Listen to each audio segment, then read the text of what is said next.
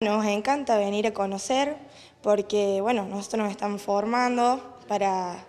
para nuestro futuro y bueno, y conocer las distintas alternativas que tiene la universidad y las opciones eh, sobre carreras que podemos elegir eh, nos parece muy importante.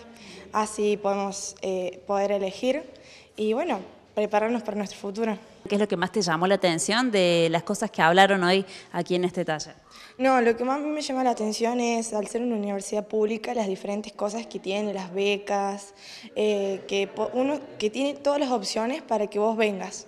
Eh, tanto te dan, un montón de opciones, eso es lo que más me llama la atención, más allá de todas las carreras que hay, que hay un montón de opciones, eh, al ser pública es muy integra, integra a todos y tiene eso para que todos, más allá de la situación económica y de donde seamos, eh, podamos venir. ¿Cómo te pareció este taller que hoy estuvieron realizando aquí en la Universidad de Río Cuarto con tus compañeros? Bueno, como principio me pareció muy bueno, eh, totalmente informativo eh, para conocer lo que es el ámbito universitario,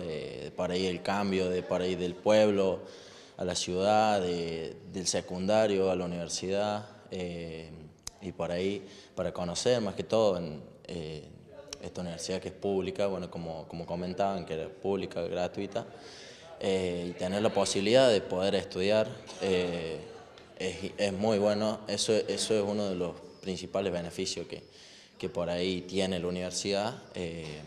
y que me parecen también muy importantes. Y el taller también, como le digo, es muy informativo. Yo también participo un poco dentro de lo, de lo hablado en el taller, que por ahí eh, algunas carreras vistas, las becas, bueno, las, la residencia, eh, las ayudas que hay por ahí al ingresar el primer año, pero muy, muy bueno, muy informativo la verdad. Eh, y como todo,